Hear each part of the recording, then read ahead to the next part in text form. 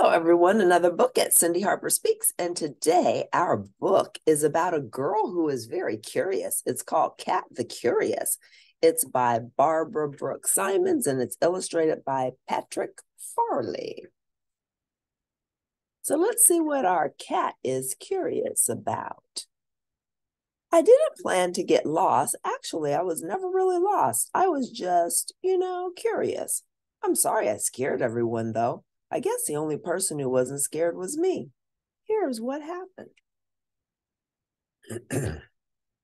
I was going to spend a week with Aunt Helen while my parents were camping in the Rocky Mountains.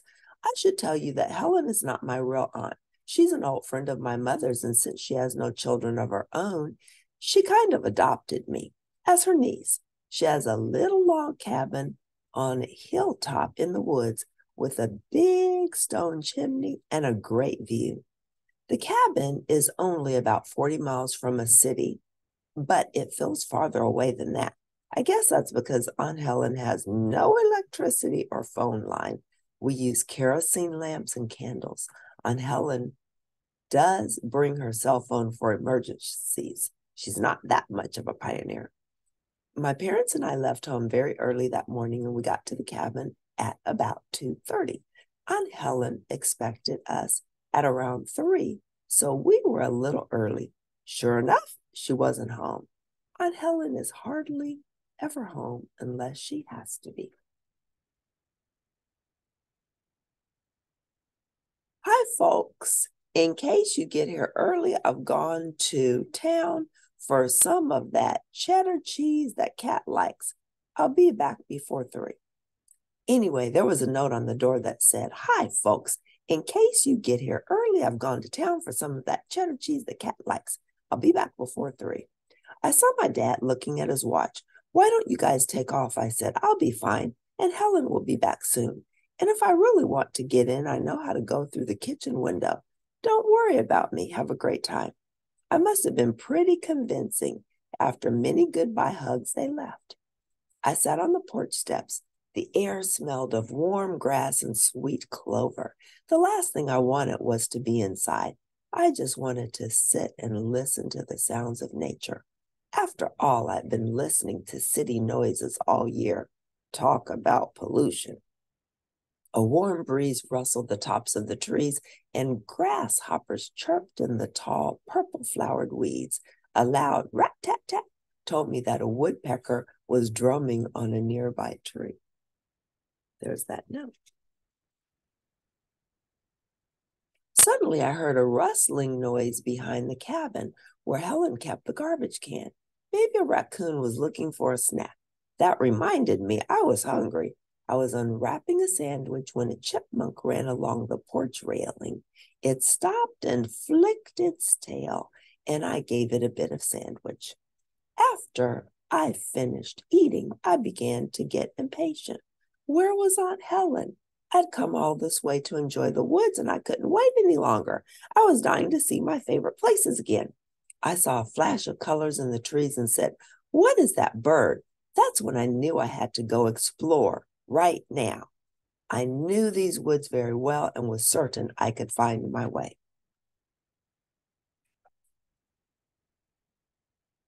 I wrote a note on a page from my notebook. It said, Aunt Helen. I waited until I couldn't wait anymore.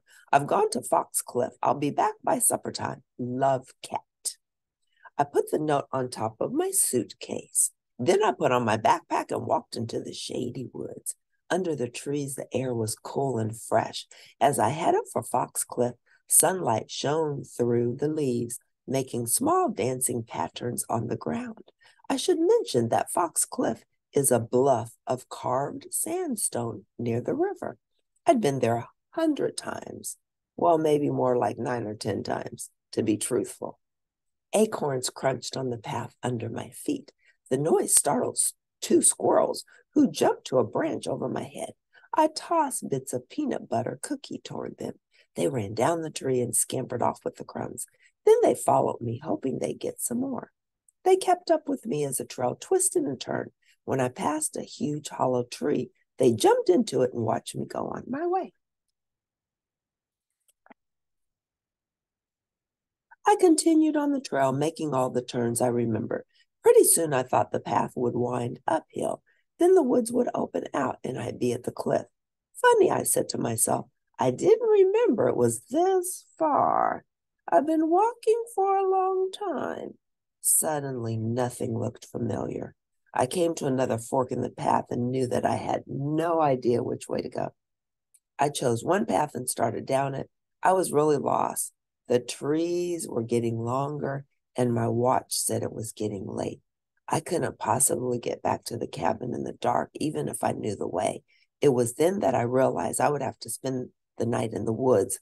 I wasn't really worried. In fact, I thought it was kind of exciting, but I knew Aunt Helen would be out of her mind with worry, and I felt bad about that.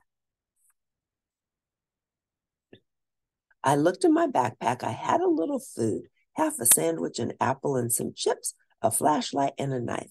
I had warm clothes too. What I needed was fresh water. A little more to eat would be nice, but it wasn't necessary. Something moved in the bushes. I sat very still while a raccoon with something in his mouth scurried past. I remembered that raccoons wash their food, so I scurried after it. He led me right to a spring bubbling out of a crack in a rock. As I filled my water bottle, I looked at the shallow water at the edge of the stream. A bright green plant was growing there, watercress. I picked handfuls of the spicy le- leaves for a wild salad. The raccoon had already finished his dinner. He didn't seem to be afraid of me at all. He looked up at me through his black mask. Okay, Bandit, I said. The name just seemed to fit. What do you eat that I can eat? He trotted up the bank to a tangle of bushes loaded with small reddish fruit, wild plums. Bandit was inviting me over to his place for dessert. Soon it was time to make camp. I'd had a long day and I was awfully tired. I searched for a rocky overhang to lie under. That way, if it rained, the overhang would keep me dry. Then I used my knife to cut some long green saplings and I propped them against the rocks. I wove in thin branches to make a framework, and I draped my sweatshirt over it, making a kind of tent. It was getting pretty dark. Dark. I wasn't scared, not really anyway. There aren't any dangerous animals like bears or wolves in southern Wisconsin. I had a flashlight, but a fire would be nicer. Wait a minute, I said to myself. I took this backpack the last time I went camping. Maybe I still have that tin of matches. I did. Six precious matches. I had to use two of them to light a fire. The glow from the fire danced on the rocks behind me. Spring peepers cheeped in the trees. Big frogs rumbled in their bass voices. I curled up on a soft, on a bed of soft, dry grass and sweet smelling pine needles. My extra sweater made a pretty good blanket. I watched the stars until I fell asleep.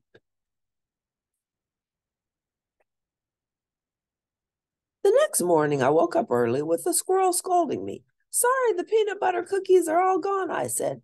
It's your turn to get breakfast. How about some nuts, fruit, cornflakes?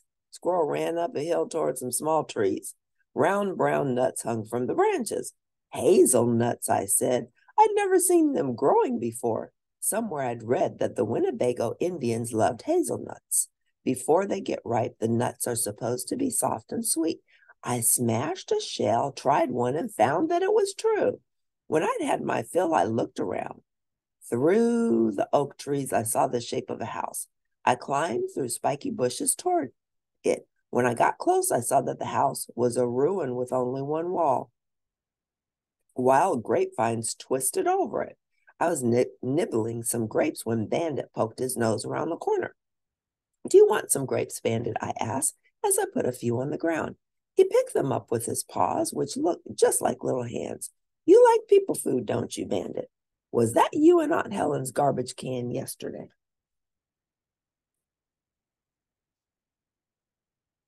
Did Bandit understand me? I'll never know. Maybe he just knew that this was his world and I didn't belong in it. In any case, he started off through the woods. It looked as if I should follow him, so I did. Following Bandit, I saw how lost I was. I was nowhere near Fox Cliff. If people were looking there, they wouldn't find me. Bandit trotted quickly through the woods. I could see a faint path, not one made by people. Maybe it was a path that deer and other animals made when they went to the stream. We went on that way for at least an hour. Then things began to look familiar.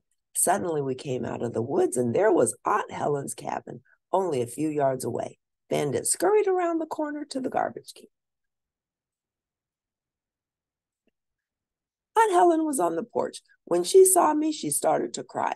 You're safe, you're safe. The state police are looking all over Fox Cliff. Why did you wander off like that?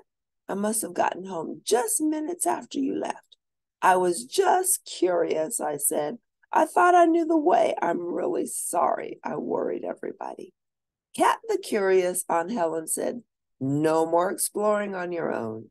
Next time you get curious, I'm coming with you.